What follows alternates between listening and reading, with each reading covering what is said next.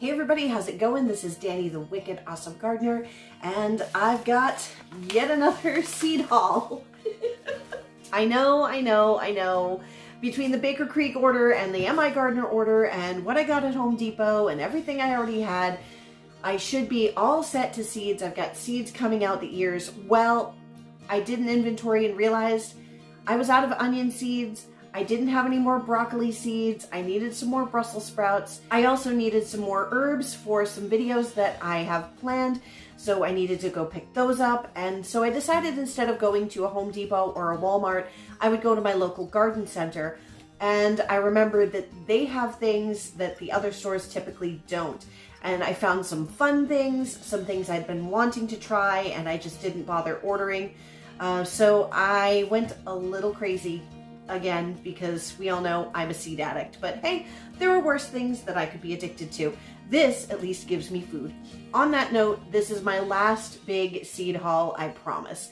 I literally sat down and thought, is there anything else that I could possibly want in my garden? And right now, no. I would like to grow corn, but I don't have the space in any of my three garden spaces to grow corn even if I wanted to do just a little patch of like glass gem or you know some popcorn or something like that. Like I'd love to get bloody butcher corn and do some popcorn but there just isn't the space for it. So I'm not going to bother with that until I have my own property and can grow a big big block of corn to make it worth my while. So to that end I've got some fun things here again, I picked up some of them because I was out. I picked up some of them because I forgot there were some flowers that I wanted. There were some herbs that I needed. One of these is a prize for when I have my 4,000 watch hours live that, you know, so that I've got my 4,000 watch hours, I've got my 1K, so I'm going to have a big old party. And I wanted to have a couple of things that were sort of my favorite things to grow. And so I got those here so that I can give them away to some of you. That said, time for a seed haul. And we're gonna start out with something that I did not intend to buy because I do have plenty of other beans, but these look so cool. These are French horticultural long shelling beans. Look at those colors. That is so cool. You know I couldn't resist that. I just couldn't. So we're gonna try those this year. This is actually a very good variety to grow up here in New England. It is a bush type, not a pole bean. You can eat them very early and nice and tender as a snap bean, but you do have to get them early because they are a shelling bean and these will develop very quickly and not be as tasty. So then you save them, put them in some soup. So then there's the onions that I very much needed and I'm actually gonna be starting these in about half an hour on a pop-up live stream, which by the time you see this video will already have aired. These are the Sweet Spanish Yellow Utah Jumbo, and I love these. I still have a bunch of them left from last year. They didn't grow very big because I actually didn't feed them mid-season like I should have. I planted them definitely far too late. They were in the cups for far too long. They were allowed to get stunted, so they didn't get as big as I wanted to, but they, they were okay and we're still eating them in soups and stews, so they definitely keep very long and very well as long as they are properly cured. I'm not a huge cabbage fan. The only time I really like have to have cabbage, like mm, I need some cabbage, is if I'm doing like a boiled dinner. But my friend Kristen, where I'm growing the canning garden, she has just discovered cabbage steak. And so I decided I would grow her a couple of heads of cabbage just so that she can enjoy making cabbage steak from her own yard. So we have some Copenhagen Market Early Cabbage. I did need broccoli, so I got some of the tried and true Waltham. And for fun, the Romanesco. Like, look at that. It's so cool. It's like a geometric puzzle. I needed some herbs. I was out of rosemary, thyme, and sage. Wait a minute, where's my parsley here? Did I get parsley? I, I actually, there's a reason I didn't get parsley. I already have a whole bunch of parsley in my seeds in the other room. Some of my YouTube friends have been encouraging me to sing more in my videos. So I guess um, since we'll do a little herb humor and I'll, I'll, you know, do a song. So that's not parsley, but close enough.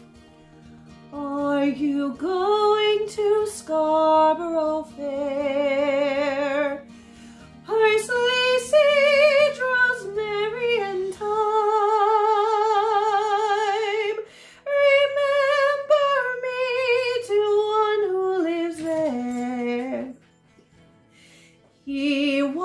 Was a true love of mine. I failed a little there, but it wasn't half bad. So yes, I've got my sage, rosemary, thyme, and oregano. I realized when I picked up all my flowers earlier in the year, I did not get any zinnias. How can I not have zinnias? So I got some zinnias and some cosmos. Classic. Something I'd tried to order from a couple of different seed companies, but they were out. But my local garden center, Canes on 114 in Danvers, or is it Peabody? I'm not sure which. They had the Malabar red spinach. So I'm psyched for that. I was out of sugar snap peas, so I've got my sugar snaps. You can't have spring without sugar snap peas. They're like my favorite thing. So the rule here for where I am in New England, I'm on the North Shore of Massachusetts, a little bit above Boston. So the rule here, at least my mother's rule, and it always seemed to work very well, is you plant peas on St. Patrick's Day, you plant garlic on Columbus Day, and you're good to go. And you know me, if I see tomatoes, heirloom tomatoes that I don't currently have seeds for, you know I have to buy them. So I have Black Krim, Delicious, Rutgers, and Brandywine Red. Uh, I also do have Brandywine Black uh, coming from M.I. Gardener. Yeah, I know, there is one more seed haul coming. and I also have uh, seeds for pink brandywine that I saved myself and they were delicious. So I'll definitely be growing from those again. The last seed packet I have will be a gift for the raffle when I do hit my 4,000 hours. So go ahead and watch some old videos. There's other seed hauls. I have plenty of those. But this was my favorite thing to grow from the 2021 gardening season. And you probably don't have to guess if you watched those videos, it is the angel hair spaghetti squash. This thing went crazy. It was super productive and the spaghetti squashes were just small. Actually, I can show you one right now. I've got one left. This is my last angel hair squash. So you can see it's a personal size squash. One of these makes a dinner, like a whole meal for one person, or if you cut it in half, it makes a nice side dish for dinner for two. And they were super prolific. They were delicious. I love them. So I wanted to get a packet of seeds to give out as a gift. So I'm definitely compiling a bunch of other things that will be gifted out.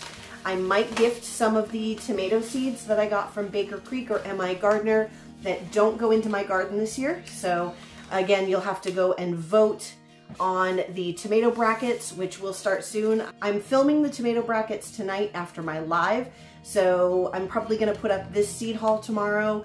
Then the tomato brackets will go up. There's also my Shed Wars entry video is coming up, and I have a fun mail call. So this is gonna be a week full of videos there's my live on Wednesday night at 8 p.m. Eastern Standard Time with the Suburban Gardenista. So you definitely want to come and check that out. We're going to be talking about um, native plants and uh, how to encourage native pollinators and things like that. So it's going to be a very interesting, fun discussion. And I'll open up the panel after an hour or so to let people on uh, to talk with my guests and talk with the people in chat. And I will see you guys in all of those videos coming up hopefully see you Wednesday night. Have a great one. Don't forget to like and subscribe to the channel if you haven't already. And this year we're going to continue to grow more wicked awesome food from yard to table. Bye-bye.